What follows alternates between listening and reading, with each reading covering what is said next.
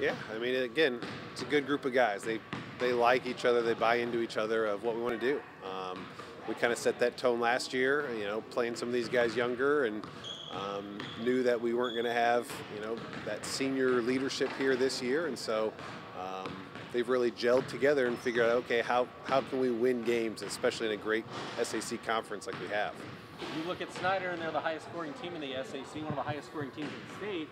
And you look at yourself, and you guys are one of the, the top defenses in the SAC. So, uh, given that two sort of different styles of play, how does that work its way out on a Friday night? It's, it's going to be the challenge Friday. Is we we got to hold them down a little bit. Um, you know, they obviously have a lot of firepower, and you know we got to be able to execute our game plan and um, you know really just try to make it difficult for them. You know, you're not going to shut Jenkins and Lambert down. You know, they're just too good that way. Um, but if we can make things hard for them um, and get it, get that defensive mindset that we have, that'd be big for us. Yeah, piggybacking on that, what are some of the things you're focusing and really impressing on these guys uh, this week of practice to play the kind of type of game that you want to have on Friday night? Yeah, I mean we we got to be physical. We got to be able to rebound and, and match their strength. You know, they're so strong. They're so athletic.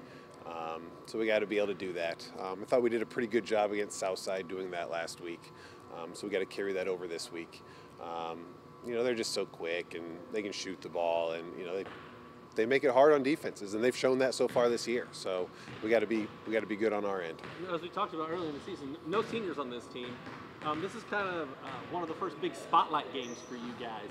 So how do you think these guys kind of handle that, um, that spotlight and that pressure and that extra added hype surrounding the game where this could go a long way in determining the conference championship, which I imagine is one of the, one of the ultimate goals for you guys. Yeah, I mean that's been a goal for us, you know, that we've talked about all year is, you know, we got to get to this point and um, it's, you know, I'm just proud of these guys to be in this situation. We've talked about, okay, you just got to take care of business and one game at a time, and you know, to be put in a position where you're 4 and 0 in conference, um, you know, is good for us. And so we'll we'll see how they respond Friday. And um, again, we don't have that experience of some of the big big time spotlight things, but you know, this could go a long way for us come February, March when when tournament rolls around. Yeah, final question for me.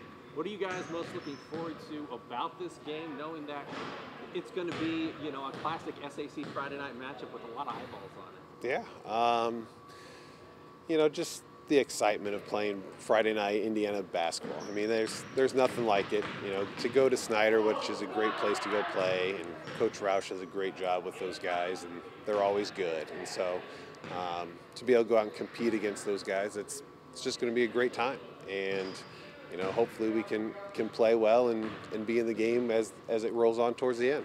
Good deal. Anything else you'd like to add? I don't think so.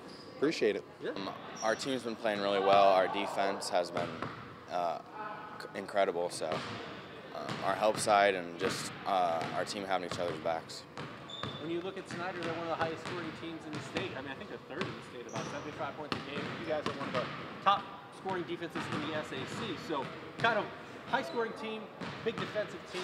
How does that play out? How do you get them to play at your tempo on Friday night, play the type of game that you want to play? Um, we, we definitely want like to keep Carson Jenkins and Aiden Lambert under 20 and just play good defense all around. What's coach been stressing this week, and what are some of the things that you guys have been working on as a team? Um, we're gonna uh, be hard in the in the gaps and not let uh, Carson Jenkins uh, to, to, through the lane or anything like that. Uh, close out on his shots. You know, go about uh, staying kind of cool under the pressure, knowing that it's a big game. Yeah, we don't have any seniors, so we're gonna have everyone has to play their role and step up in their own way, and I think we can beat them. What are you most looking forward to about this game?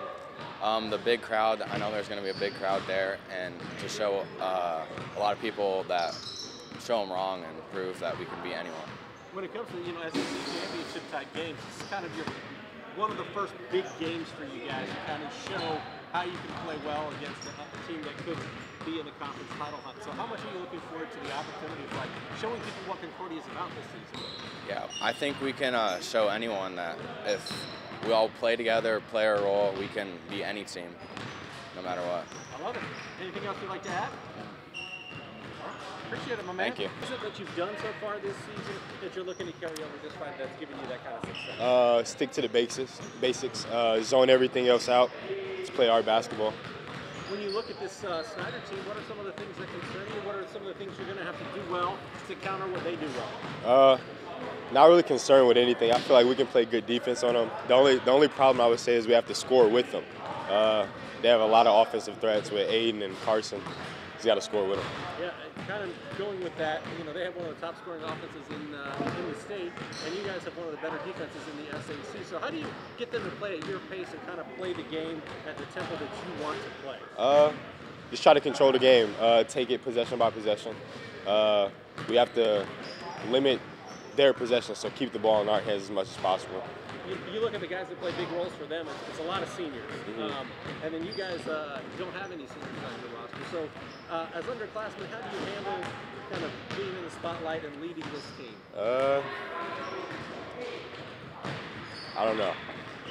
Well, how do you uh, make sure that you guys uh, are, are ready for the spotlight? You guys like, feel like there's a calmness with this team when it Yeah. comes to playing in a big game? Yeah, we all hold each other accountable.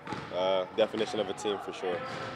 What are you most looking forward to about this game? You go a long way in determining who wins an SAC title. Yeah, uh, I still feel like a lot of people are counting us out. Uh, we just want to come in and fight.